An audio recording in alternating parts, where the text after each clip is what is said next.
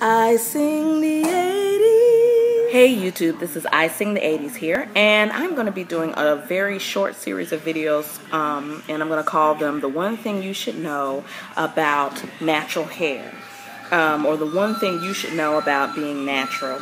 I've been natural for over five years, and I've had some ups and I've had some downs. As you can see, my hair is not um, waist length is not really long, but I did cut it about two summers ago. And I've had breakage along the way. You know, it's been a learning experience. So I just want to share some of the things that I've learned with you.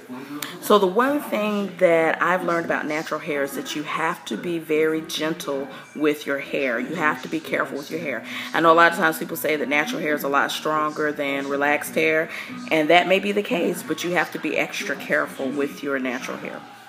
Right now I'm detangling my hair so that I can wash it.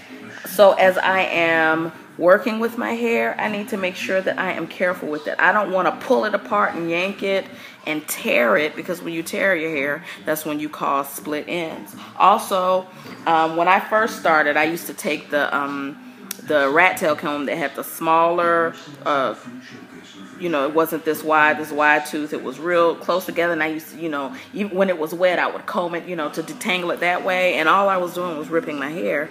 So now I've decided to use my fingers mostly to detangle. See, I can pull my fingers through this. Um, use my fingers mostly to detangle and just take my time with my hair. So the one thing that I've learned about being natural is that you have to um, handle your natural hair with care.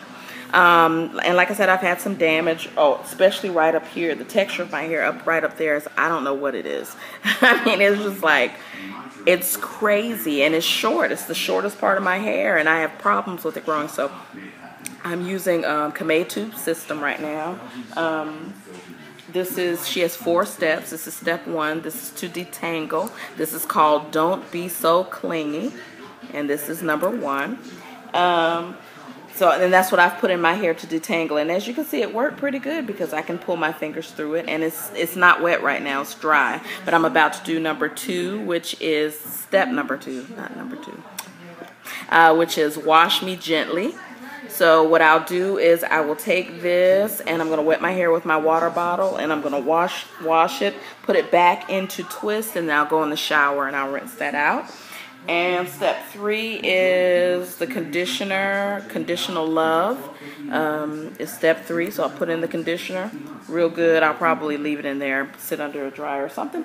And then rinse that out and use her uh, leave-in, which is called Love Me and Leave In, which is step four.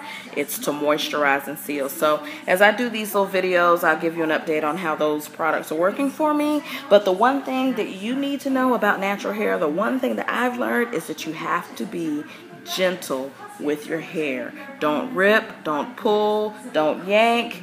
Be gentle with your hair. All right, and this is I Sing the 80s, and I'll see you next time. Bye.